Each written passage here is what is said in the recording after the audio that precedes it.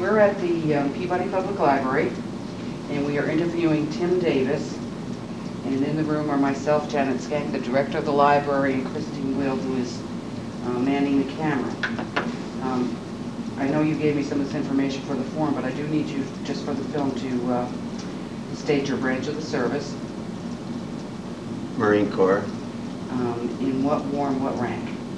I was uh, in the Vietnam War and I was a corporal E E4. Mr. Davis, um, were you drafted or did you enlist in the I enlisted. Okay, and where were you living when you enlisted? I was living in Sidney, Indiana. Population 210. And why did you enlist? Uh, Well, I enlisted because uh, I have a family background in military service. I had a brother that was in Korea and I had two brothers in Vietnam at the time that I enlisted. You pick the Marines? uh, to be different. I went in with, uh, Marine Corps recruiter came to the high school, and so did the Army and the Navy and Air Force, and uh, myself and five others that went in together thought he was the best dressed, and we went with that one. Um, Do you recall what it was like when you first went in? Yes. Explain that a little bit. Uh, scared to death. Got on the plane in uh, Fort Wayne and uh, flew out to San Diego where we were greeted by the meanest people I ever seen in my life. And they were Marine Corps. They were in the Marine Corps and they were picking us up at the airport. And they were just absolutely mean. Okay, I have, I- I've had relatives in the Marine too, but they say they're always Marine. Uh, This was boot camp, I assume that you're talking about. This was about. boot camp, yes. Um, think that, were they affecting that, or is just that the way they were? That's just the way they, they were to get the best out of us right off the bat. Can you- Can you tell me a little bit about boot camp?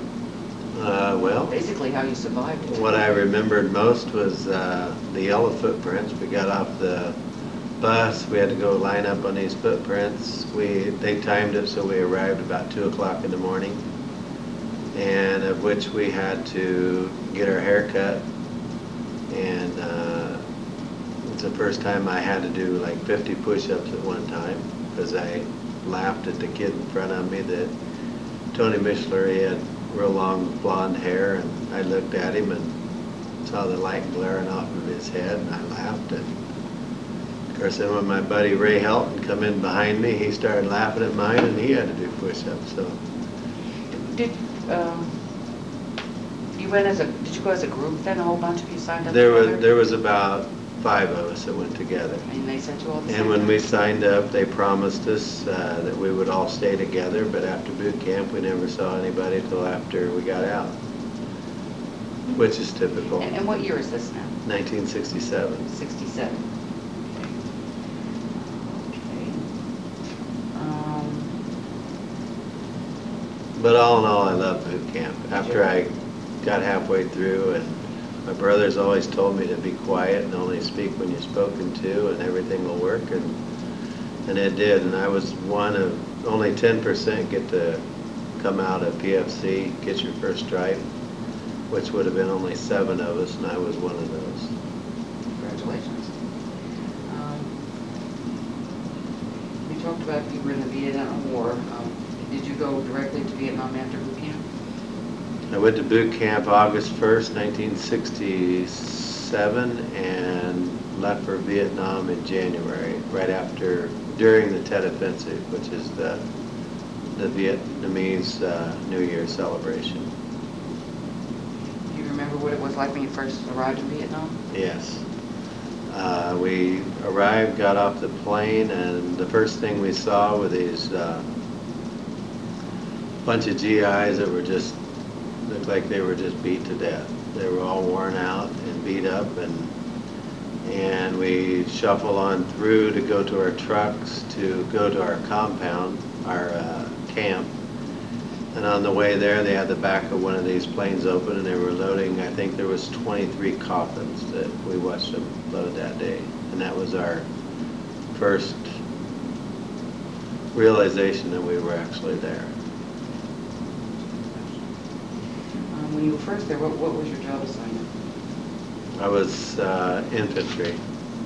In the Marine Corps, I don't know how it actually is with the others, but you have your primary MOS, which I was a truck driver in the States, and you have a secondary, which is a a grunt, infantry, and uh, during TET, the Marines lost about five, 6,000 Marines just in 24, 48 hours, and we come in to replace those, so.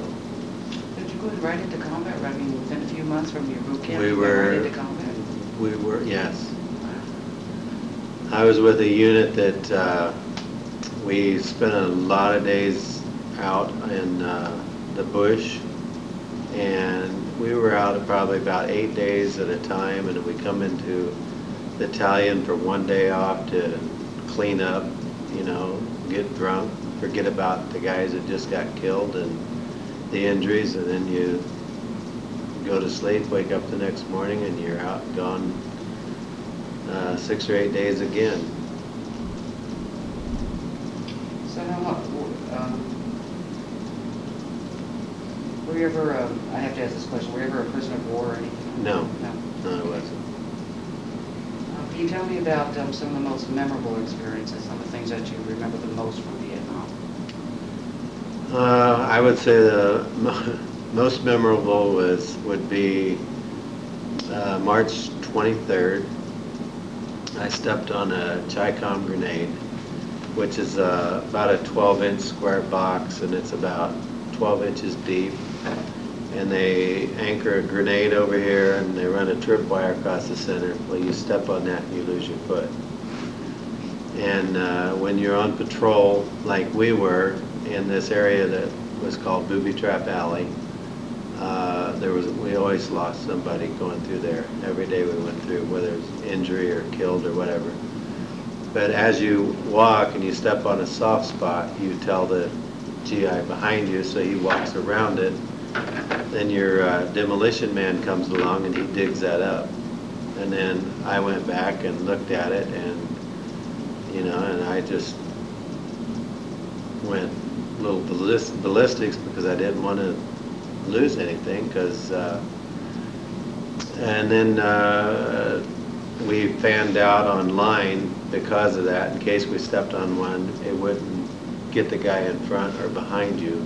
So we fanned out about 10 feet apart and then uh, my squad leader goes over and probably about, oh, maybe 10, 15 minutes later, he stepped on one. His foot went all the way through, but the wire was so rusty that it didn't go off.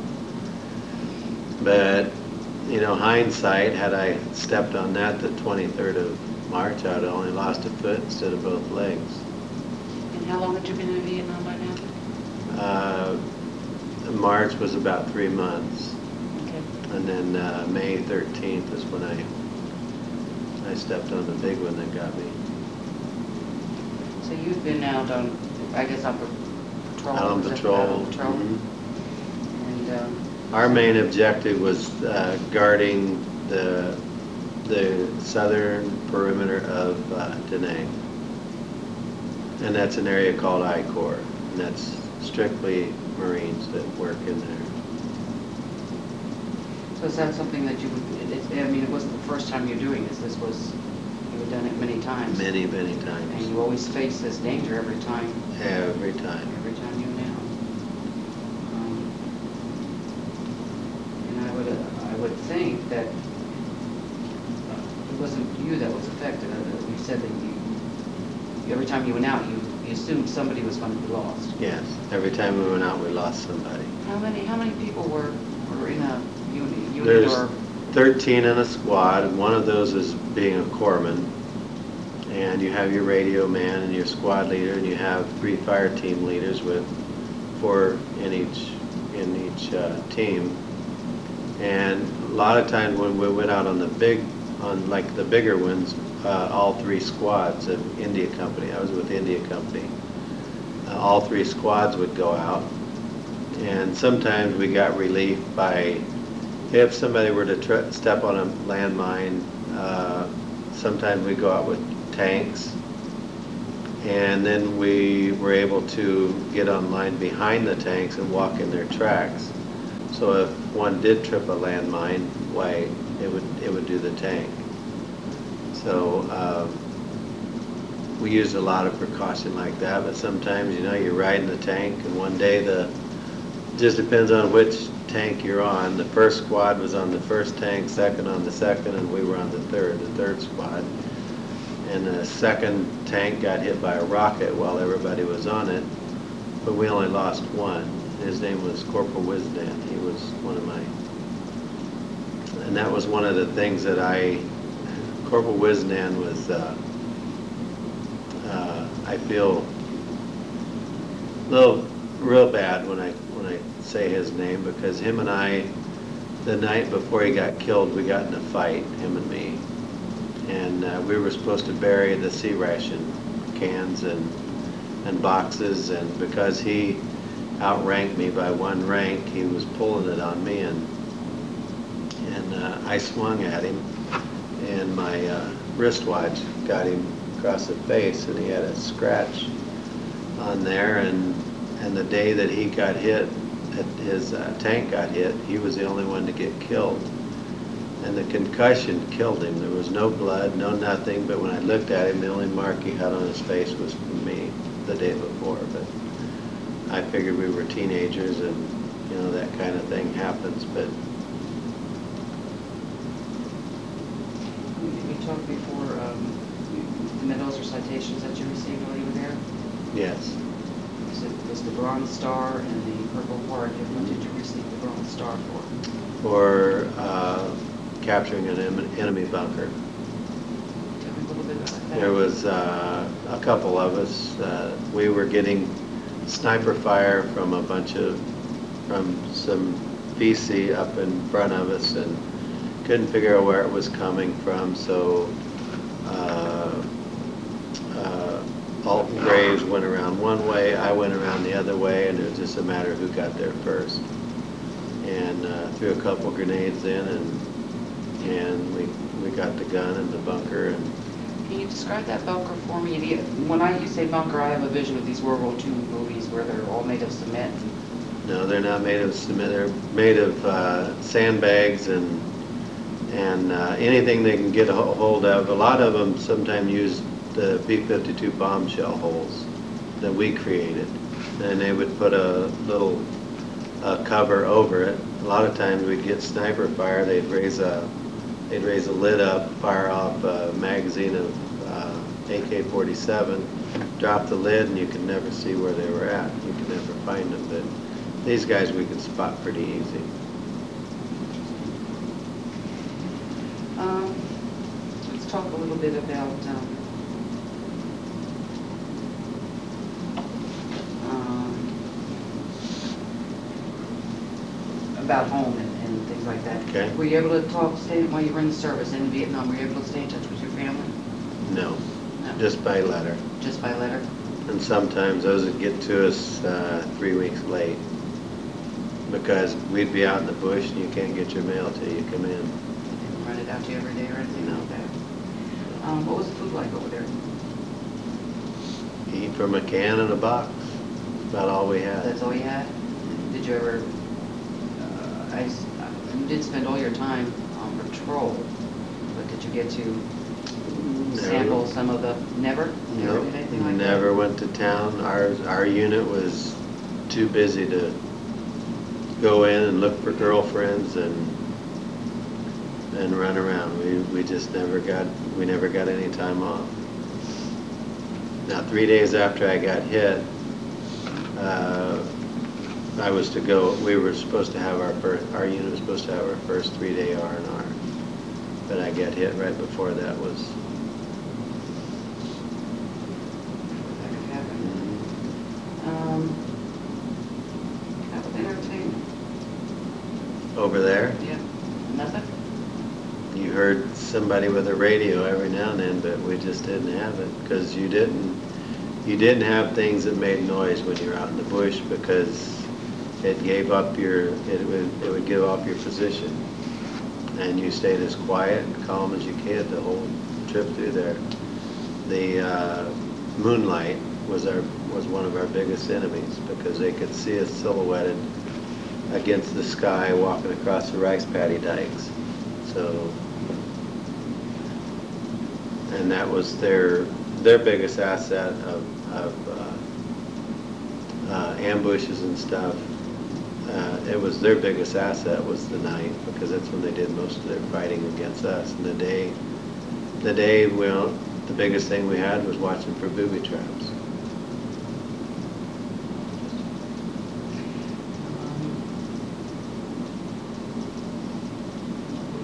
Let's talk a little bit about when, when you actually left the service then. Um, When, when did you leave the service? I got officially dis, I got hit May 13th, 1968, and I got officially discharged December 28th of the same year. When, when you were uh, hit, did, did- they take you to a hospital or uh, Well- in Vietnam? We were, it was on a Sunday, and uh, we were to start on this operation called Allen Brook. And it was down on a hill called Hill 55. It was 18 miles south of Da Nang. We all loaded up, went up on the top of this hill. Uh, We started digging in, and uh, the, the area we were in was occupied before. There's a unit called uh, 226 that was there before we were and they left some sandbags laying. And there was uh, about a four or five hour lapse of time between when they left and when we got in, which allowed the VC time to come in and set booby traps. So there were bunkers and stuff there, but when you leave, you're supposed to slip the bags and, you know, dismantle the place. Well, we were up there and we started digging foxholes and we started hitting some rock. And the uh, commanding officer, the captain, said to start using those sandbags to build it up. So after about three or four trips, I told uh, uh, Steve Easton and, Tom, I'll get his name later, but Tom Hanson, I told him, them to stay back and I would carry him. So about four more trips, I lifted the uh, left sandbag up and then I went to lift the right one and I heard the pin and it uh, blew everything out on this side. My left leg went first and uh, and uh, I I actually died for a little bit. I knew that I died and and uh, these corpsmen come and they started pounding on my chest and got me back and I raised up and I saw my, my left leg gone and just, it was actually cooking. But I, you know, I looked at the brighter side and I thought, you know, I've seen a few guys out there lose one, but I've never seen them lose two. So, uh, they, uh, as, they were still landing troops on the hill. And we'd had been there probably a couple hours. So they threw a green smoke flare down and the helicopter came right back down and uh, picked me up. And you have to realize in the 60s that the, uh, I hate, I, I like to put this in because of the, the attitude towards the black person. Uh, I was raised to not like them at all. In the 60s was the way it was supposed to be. And I had a big grudge against a lot of black people, as, as a lot of us uh, Indiana, Michigan, Ohio, northern people did. And that all changed because the very first person I saw, the corpsman that took care of me, was black. His name was uh, H.M. Price. And I've been trying to find him. I found a few buddies since then, but I've been trying to find him to say thanks. And from that day on, I've not had anything bad to say about any of them. But again, they threw me on the plane and uh, uh, I was, I quit smoking. I started smoking basically in Indiana, but I quit there because of the, the glow. I didn't want to give her position away with that. But on the helicopter, I asked the gunner, because I didn't want to go to sleep, because I was afraid I wouldn't wake up. I asked the gunner if he'd give me a cigarette. And he said, sure, and he bent down and he gave me one, and I had blood and dirt all over, and I couldn't see him. And, and I said, you're black, aren't you? He goes, yeah, why? I said, because this is a cool cigarette. I said, you guys are the only ones that smoke these things. He goes, yeah, you're right. And he, he sat there and he held that for me.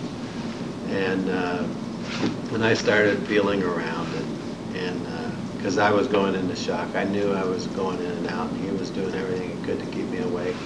And I felt this foot. And I said, well, who else got hurt? He said, well, there's about eight others got hurt, but you're the only one that's coming out now. I said, no, somebody's here because their foot's, he said, well, that's your foot. And I said, well, do you think they can put it back on? He said, no, sir, not that one. And I said, well, what's the point in taking it in? Just throw it away. And he goes, no, in case you die, we gotta send all your parts back. And I, I made a yell like, and the, uh, the pilot heard me. I said, so the pilot makes a sharp left bank and it rolls out the door. And then I knew I was, I was going. I was, lost a lot of blood and I was losing more.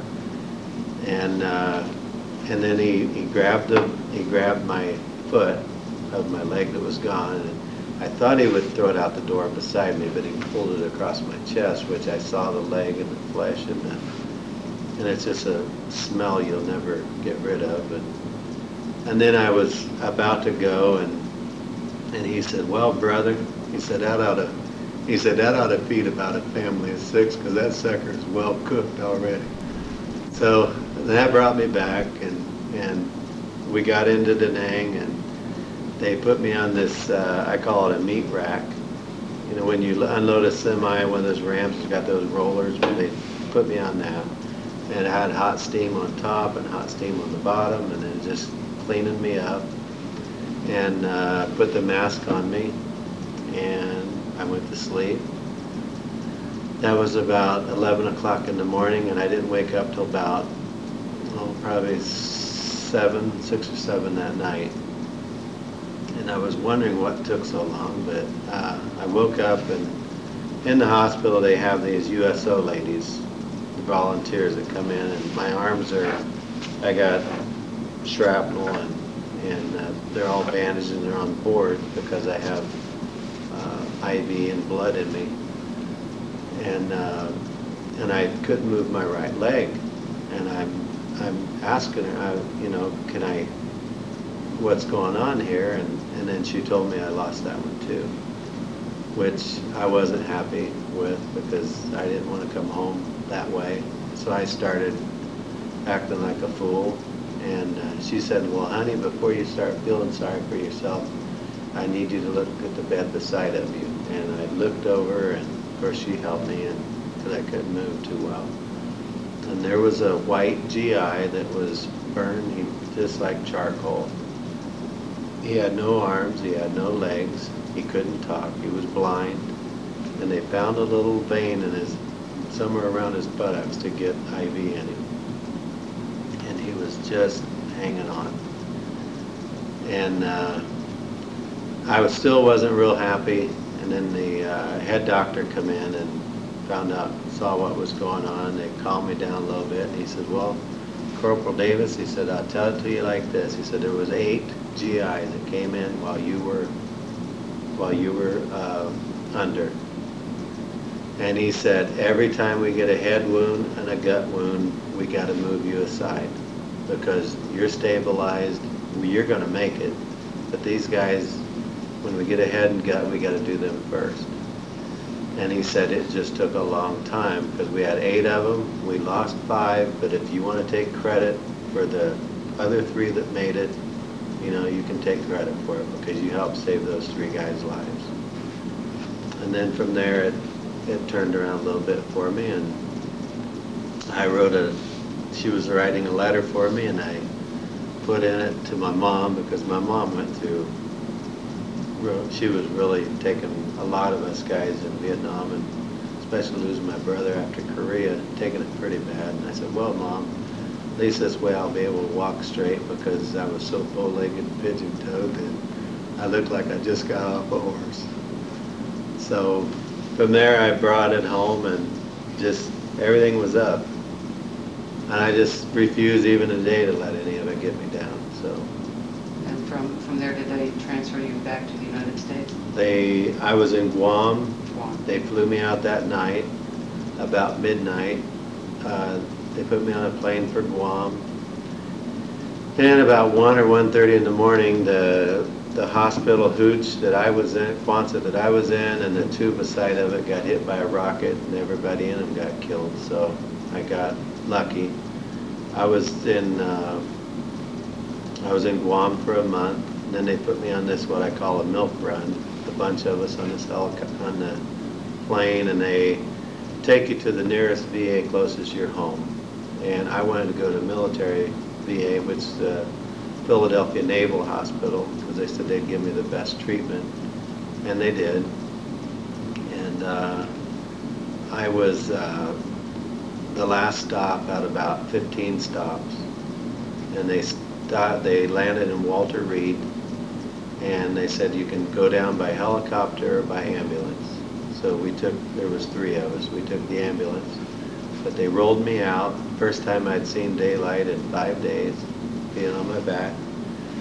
And there's protesters there, and uh, the one yelled out, "That's my brother, that's my brother." Well, I knew it wasn't my sisters, and uh, so it wasn't talking to me. So they let her through, and she come running over there, and she bent over and spit on me three times, and called me a baby-killing SOB, and that was my welcome home, my first time in the United States.